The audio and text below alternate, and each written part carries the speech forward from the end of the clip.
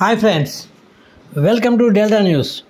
రెండు వేల ఇరవై మూడు ఇరవై నాలుగు విద్యా సంవత్సరంలో వెలువడిన టెన్త్ పరీక్షా ఫలితాలలో ఈసారి ప్రభుత్వ పాఠశాలల విద్యార్థులు ప్రథమ ద్వితీయ తృతీయ స్థానాలను కైవసం చేసుకొని తమ సత్తా సాటినట్లు మండల విద్యాశాఖాధికారి సాల్మన్ రాజు తెలిపారు.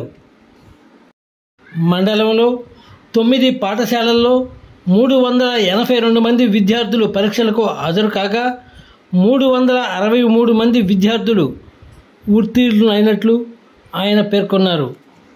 ప్రైవేటు విద్యా సంస్థలతో పోల్చుకుంటే ప్రభుత్వ పాఠశాలల్లో చదివిన విద్యార్థులు ఎక్కువ శాతం ఉత్తీర్ణత సాధించినట్లు ఎంఈఓ తెలిపారు.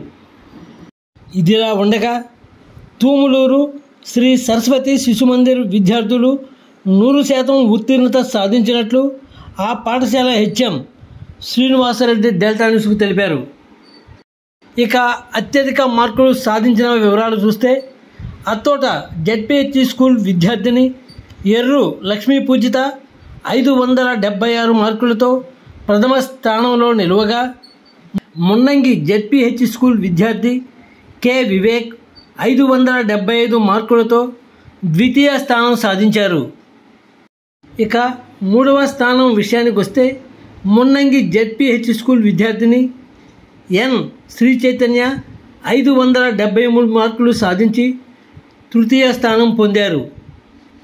మున్నంగి జెడ్పిహెచ్ స్కూల్లో యాభై మంది విద్యార్థులు పరీక్షలకు హాజరు కాగా యాభై మంది విద్యార్థులు ఉత్తీర్ణులై నూరు శాతం ఉత్తీర్ణత సాధించారు.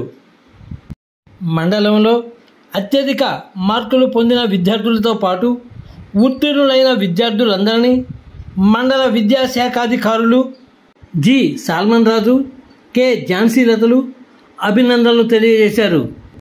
ఫ్రెండ్స్ తాజా వార్తల అప్డేట్ కోసం ఇప్పటి వరకు మీరు మా ఛానల్ను సబ్స్క్రైబ్ చేసి ఉండకపోతే వెంటనే సబ్స్క్రైబ్ చేసుకోండి. అలాగే నోటిఫికేషన్ కోసం బెల్ ఐకాన్ ప్రెస్ చేయడం మర్చిపోకండి ప్లీజ్.